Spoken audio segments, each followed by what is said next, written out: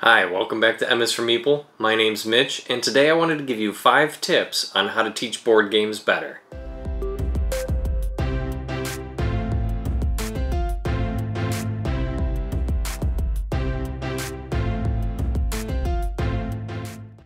First and foremost, my better half, Morgan, isn't doing this video with me because we went to Origins uh, this past week and she got COVID. So she is locked in our spare room right now, recovering from that.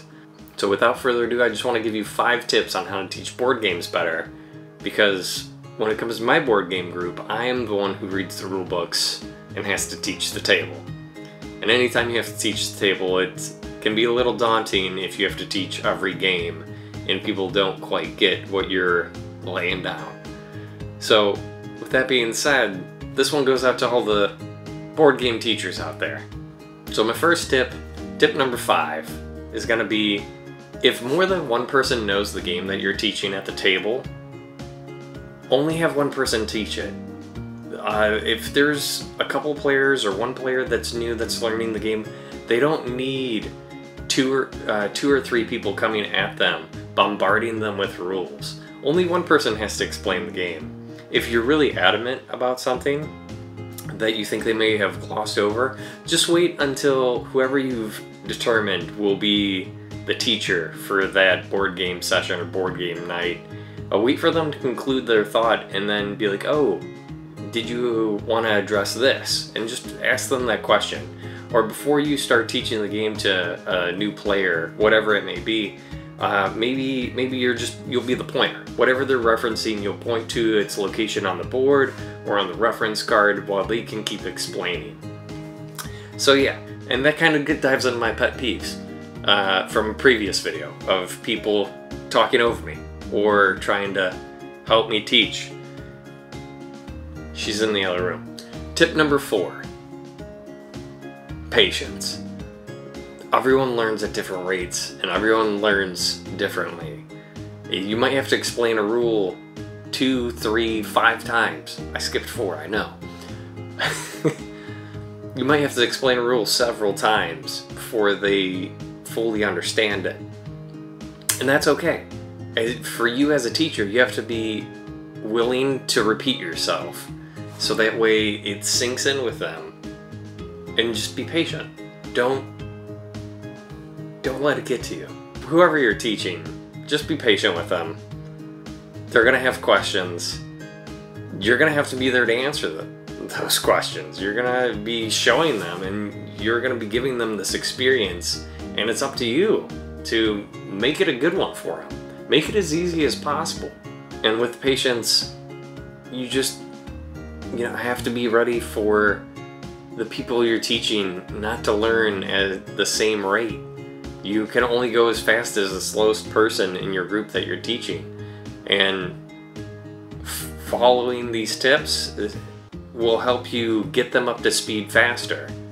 I'm not saying that these are the only tips, there's a bunch of how to teach videos out there or how to do better.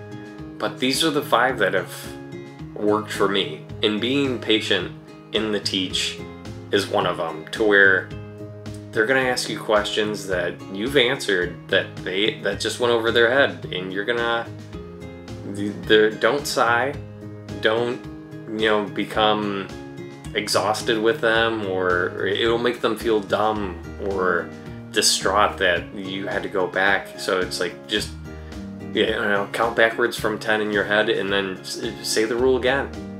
Point at it on the board, whatever you need to do. Be patient with them. They're learning. It's something new.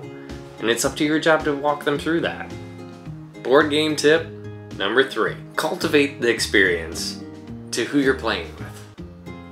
What do I mean by that? I mean picking the right game. You are the board game sommelier, the board game connoisseur, the person who will take them by the hand on this journey and show them that board games can be more than what they grew up with of you know the the basics the monopoly the life i've said them before but it's it's up to you to show them that there's more to this And just by starting small with this, by picking the right game, picking the theme that will land, you gotta know know who you're playing with. If they like Harry Potter, pick a, a Harry Potter IP. There's a, a million of them out there. Or, uh, if they're really into Game of Thrones, there's a few Game of Thrones and Lord of the Rings and Star Wars. Pick an IP, something that will that will get them invested in seeing the journey that the board game will have. And that leads me into my next point of picking the right game for them. Not only are you picking the theme that'll hook them, that'll get them to sit at the table for two two hours or so. You also got to pick something light, something easy, where the mechanics aren't too overwhelming. It might have one or two things to where it might just have hand management or worker placement, or maybe it's got just a bit of drafting to it. Pick pick a lighter game, you know, something that they can catch on quick and you could you can play a round or two that's easy to learn. I mean, and I know that's for for tips to give you saying just teach easier games sounds wrong. But you have to build someone up to it. If you want to want them to play Nemesis, I don't know if you can see it. If you want them to play Nemesis, Nemesis has hand management. It has um, yeah, like not necessarily uh, worker placement, but has actions on the board that you can activate.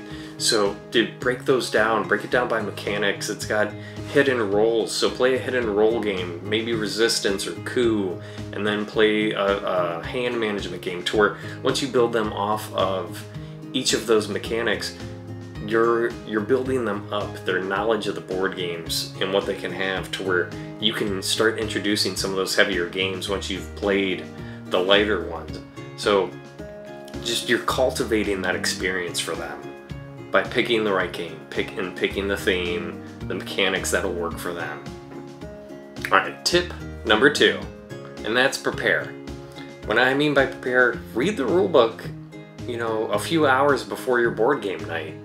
Just go over it. Maybe there's something that you forgot in the game or set it up beforehand before they come over so that way when when they come out like it some board games can take a half hour to set up like merchants cove takes a while of pulling all the boat boats out and the cards and the meeples and setting the boats and having the player characters out and if you set that up in advance that's one less thing that isn't going to scare someone new to board gaming away. And when you prepare, when you read the rule book, it kind of just refreshes you on those rules that are, are vague or once used throughout a game to where you're like, oh yeah, that is important in the one circumstance. To where you never want to be accused of withholding rules. The first time you might have played a game, even the second time, you might have been playing it wrong. So it's like after a game or two, if you go back and you read the rules, and you realize you played it wrong, there's no shame in saying, hey, I messed up. We tallied up points wrong. But we had fun, so there's no shame in that. And if you want to play with your modified rules later on, no one's going to stop you.